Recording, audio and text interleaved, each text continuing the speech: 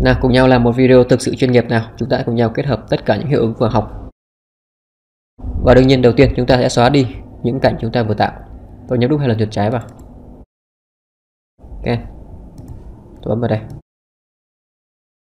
Và qua này chúng ta tiếp tục xóa. Ok, bây giờ tôi tạo record một cảnh mới. Tôi nhấn về kép gần lại D. Chúng ta nhấn D qua bên này. Rồi ok, nhấn VK vào chút xíu nữa.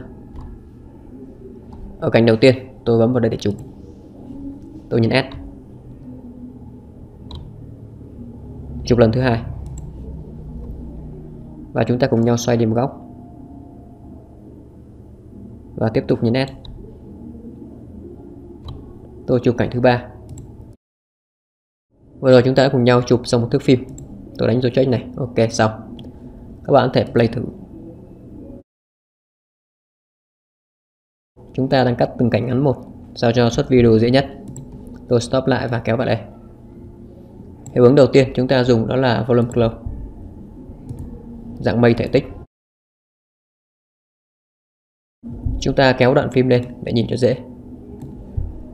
Tăng ngầm màu. Tôi tăng chiều cao lên. Và phần spell tôi tăng lên. Và có thể play thử. Trong quá trình play, chúng ta có thể chỉnh sửa. Vị trí. Thay đổi một vài kiểu mây.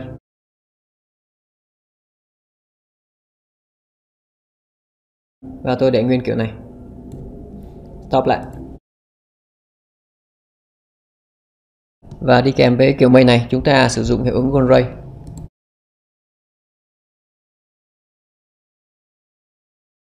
Tôi tăng giảm. Tích cây tôi để mặc định.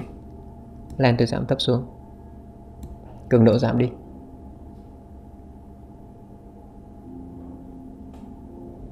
Và trong video này, tôi muốn có sự chuyển động mặt trời từ đây qua đây. Tôi add thêm hiệu ứng sân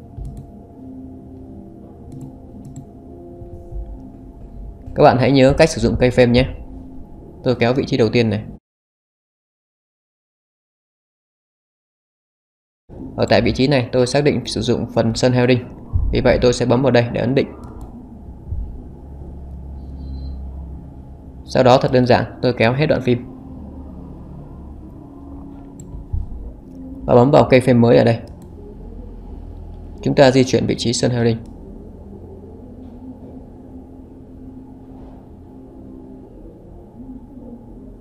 Ví dụ tôi để đây là kết thúc.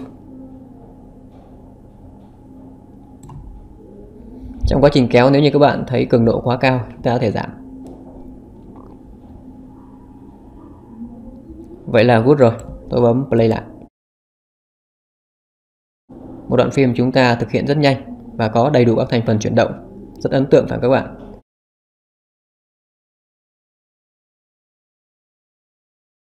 như là một cảnh buổi sáng vậy tôi stop lại và kết thúc đoạn video thứ nhất